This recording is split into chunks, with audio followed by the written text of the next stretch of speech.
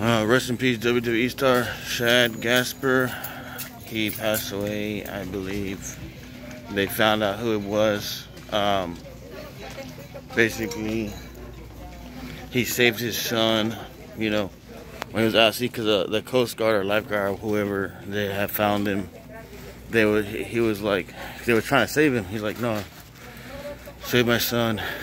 And uh, he was a WWE star, friends with, you know, The Rock and a lot of other famous WWE um, people. And let me give a moment of silence right now.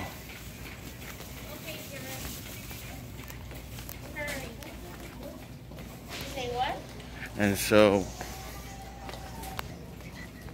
anyways, my condolences goes out to his family. And yeah, it's a tragic